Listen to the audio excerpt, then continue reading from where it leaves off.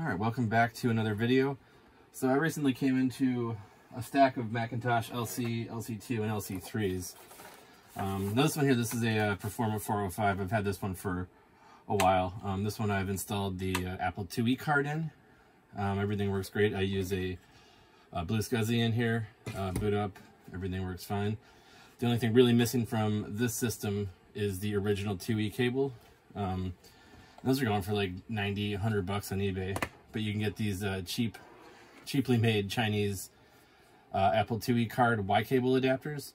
So this plugs into the back of the card and then it gives you a floppy drive port and joystick port. Um, the only difference between these and the real ones is the real ones can run the five and a quarter drives. These ones, uh, one of the power pins isn't mapped all the way through. Uh, the gentleman who made this originally uh, said he did that on purpose, I believe. And then, of course, the, the Chinese knockoffs just rip off his design, and uh, they don't have it either. Probably not a huge deal, um, but if you wanted to use a five and a quarter drive with your Apple IIe card, you would need to have the original cable. Um, I suspect maybe you could power the drive a different way too with a, an external power supply, but uh, again, hasn't been a problem for me, so I haven't looked into it. Um, so, that being said, I know this one works, um, and I've got these two LCs here. Uh, this one is an LC, and this one I believe is an LC as well. Yes, so I got these two here. Um, so what I want to do is just see if the cards in them are working. Um, I've gone through and taken the batteries out, but I haven't really done any more uh, inspection than that. So let's take a quick look in here. Uh, you can see we do have the Apple IIe card, um, which we can gently pop out. Um, these back here are the capacitors that are uh, always going to leak. This one, you know, these don't look too bad. Uh, I do see a lot of capacitor goo, I guess, on the board here, so yeah, they have leaked. Um, they can uh, corrode the CPU, this Motorola 68020. Um, I can see there's some corrosion on the uh, legs of that already. Um, and then the power supplies in these almost always need to be recapped as well. Uh, so this one does have an 80 megabyte hard drive from 1990 in it. Um, and typically I wouldn't power these on until, you know, I'd recapped and at least cleaned it, but uh, I think I'm just going to do a quick test here. I don't think it's going to break anything. Um, and then the uh, 2E cards themselves do have two caps as well. They need to most likely be replaced. Um, looking at this one, they both actually seem to be okay. Um, but I will replace these once I confirm this card's functional. Uh, it seems to be in pretty good shape. It does have some rust on the connector here. I think these machines were sitting in a warehouse for a number of years after they were decommissioned, so no surprise there. But the couple others that I've tried have worked okay. So let's get this guy plugged back in. Um, we'll unconnect the existing hard drive. Maybe easier said than done. Uh, I'm gonna just take it out, I guess.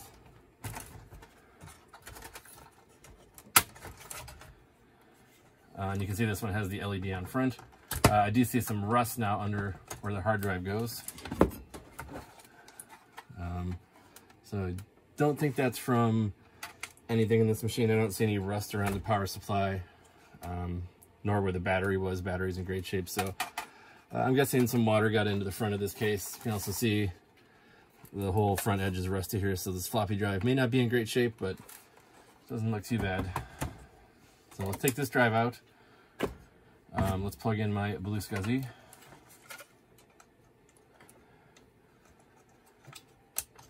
All right, and we'll spin it around.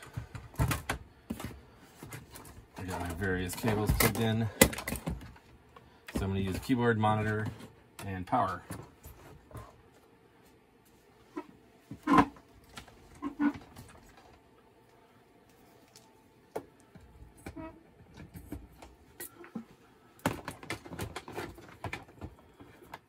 Plug in the monitor,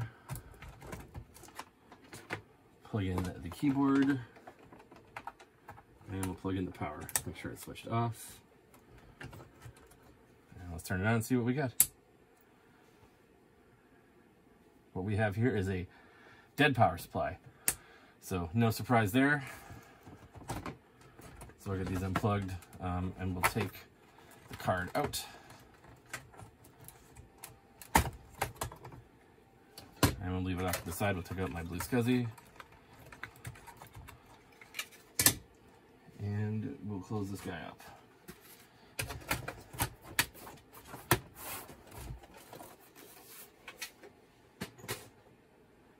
Next we have uh, another LC here.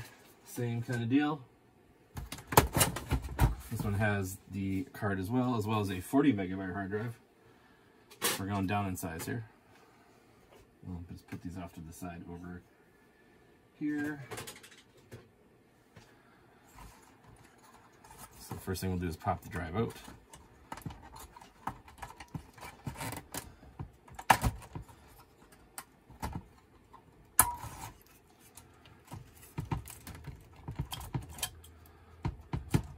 Alright, set that to the side. And we'll take the 2E card out and take a look at it. Um, this one does not seem to have any rust on it. It's kind of dusty, but no rust. Uh, capacitors both look pretty good in it. Of course, they will need to be replaced, but looks okay for now. Uh, checking the capacitors here on this board. Yep, they've leaked as well. Um, processor looks like it's in better shape here on this machine than the other one, but uh, you know, it can leak under the sound chip. It can leak under uh, the ADB controller. So definitely need to get this one recapped and cleaned up. Uh, I don't see any rust in the front of this one. So let's go ahead and give this one a try. See if we get any life out of this one.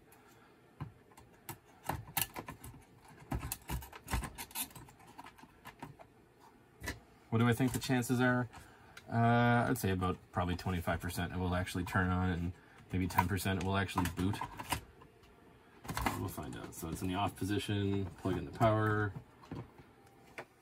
plug in the keyboard, and we'll plug in the monitor.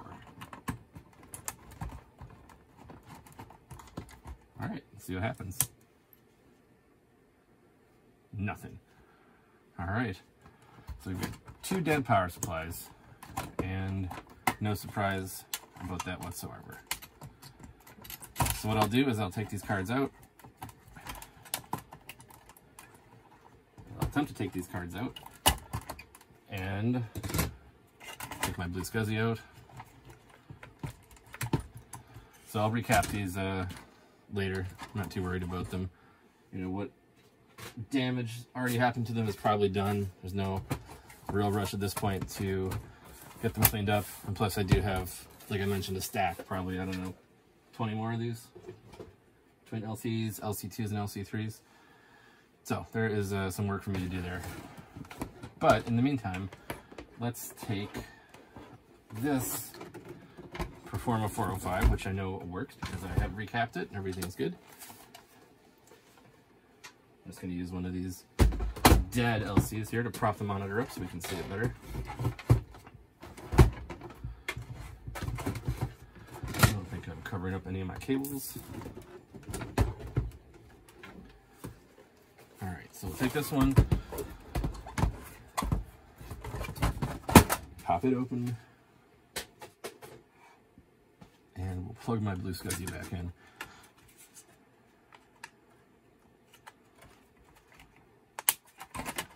All right, good enough there. We'll take out the known good card. Um, no problems here. Uh, so with this Performa 405, what I've done is I've recapped using tantalum caps. So they're not the uh, electrolytic ones. These ones won't leak when they fail, but they typically fail short, which may not be so good either, but you know, it's kind of a six of one, half dozen of the other. Power supply is recapped as well. So let's put one of these unknown 2E cards in and see what we get power going. Keyboard. And the monitor. Let's power this guy on. And of course this one works. You get the beautiful boot chime. So with these 2E cards, uh, a lot of people, I don't know if a lot of people, some people refer to them as emulators for an Apple IIe. Uh, they are actually not emulators. So what Apple did is they took all the 2E hardware, compressed it down into just a couple of ICs, and then this is actually a full Apple IIe running on this card. So it's not emulating anything. It's running on not original hardware, but hardware that is akin to the original. Uh, and again, the connector that goes in the back, um, it's got a three-row port connector. So I don't know if you can see that, but that's how it looks. This is the rusty one. Um, I did not put a battery back in this one when I recapped it. Uh, I tend to keep batteries out. Um, no battery, so that's why it's in black and white booting up here, because there's no PRAM saved. But that is no problem. Switches to color mode all on its own here. Alright, so we'll let it boot up. Um, we know at least the card didn't short out the system, which is good. Um, once we get booted in here into macOS, we can run the Apple IIe software with the ProDOS uh, virtual disk that I have, and just make sure this card is functional.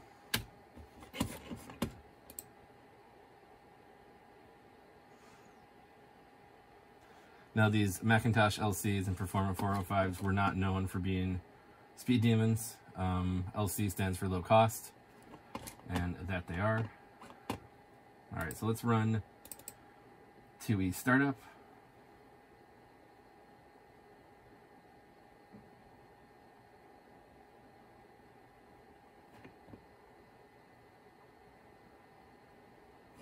I think that's running. Uh, so now if we go to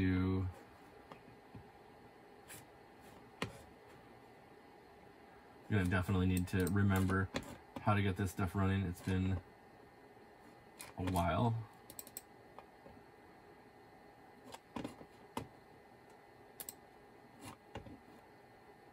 2E startup running. There's a way to switch between Mac OS and the 2E system. What is it?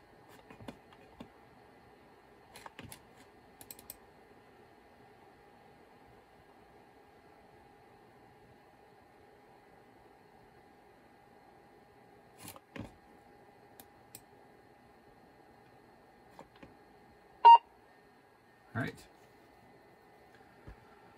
So we're booted into 2E, uh, running ProDOS, and this is the big mess of wires floppy emu image. Um, you can download the blue SCSI image for this exact uh, system that I have running here. So we can go in here and list out all of the different things on this image. Um, we've got disk-based, file-based, and MECC games. Uh, who doesn't like MECC games like Oregon Trail? Gotta be everybody's favorite.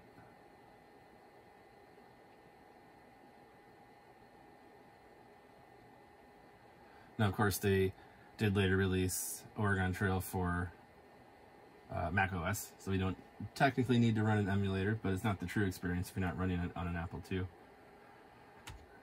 But yeah, this card looks like it's working just fine.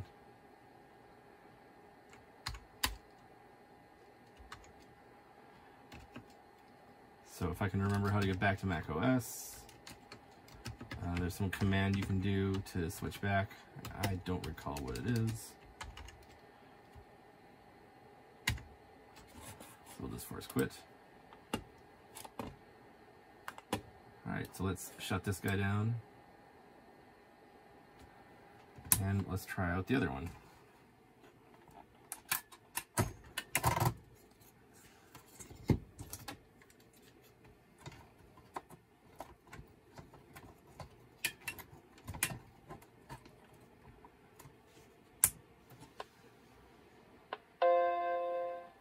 Good sign. It's booting up.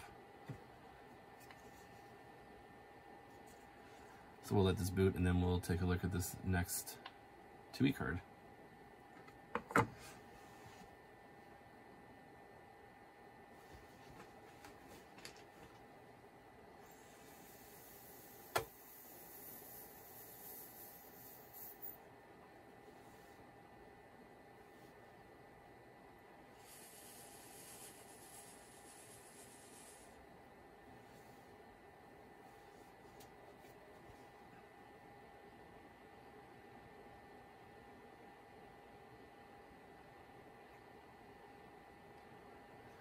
So these 2E cards work in most of the Macs that have the LC PDS slot.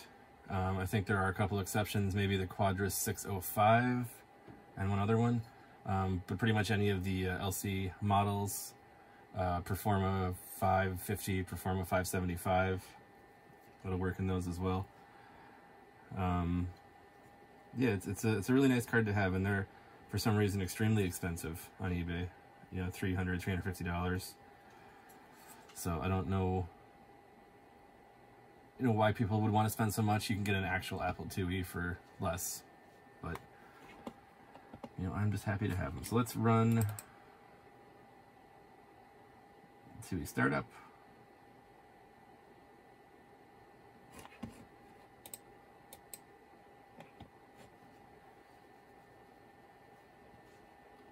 and see if this card is functional as well.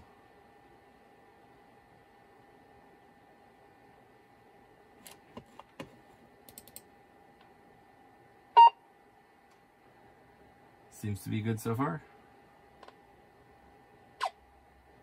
And we're back in our big mess of wires uh, floppy emu image. Um, so let's look for a different game. Just pick one here randomly. Uh, free fall. Free fall does not work.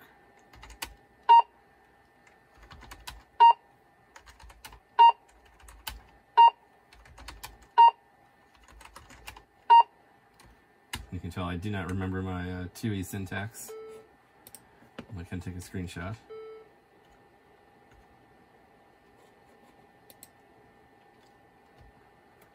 Alright, let's quit that and try again.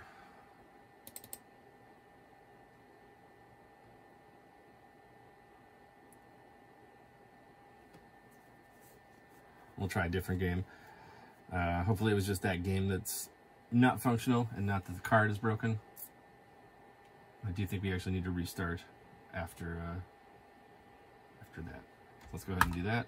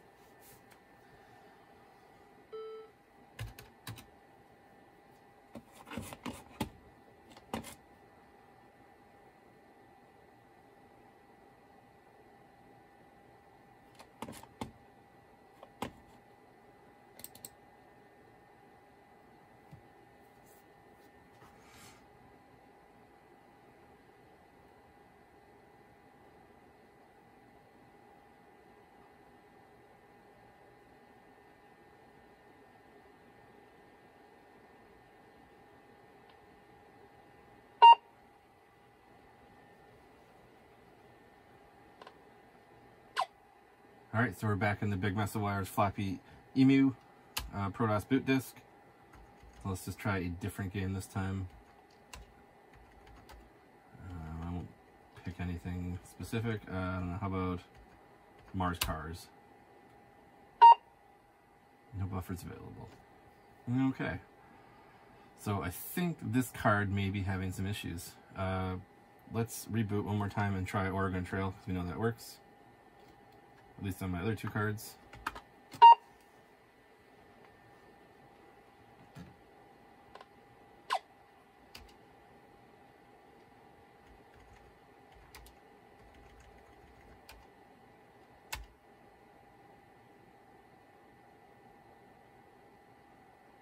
All right, yeah, this looks good. So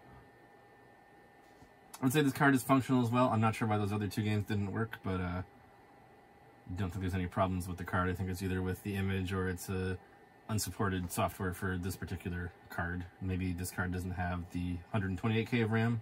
I don't know how much RAM these have on them. But things look good here. So, uh, I think with that being said, I'll shut this guy down. And get these cards out, get my original card back in, and then I've got some work to do on, on these other, other two machines. Let's do that. Let's swap this guy out. And we'll swap this one in.